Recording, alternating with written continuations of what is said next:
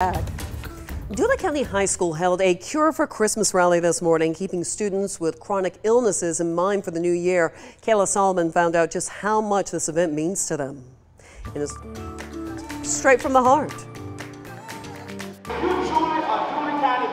Before students head home for the holidays, the Dooly County Bobcats had their classmates in mind.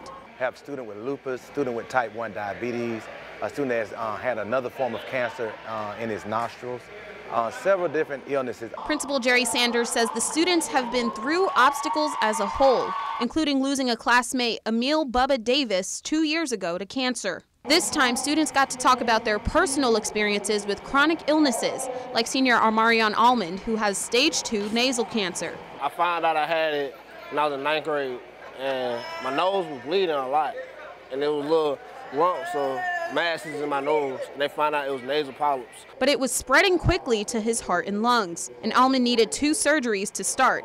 Now he gets at-home chemo treatments once a week.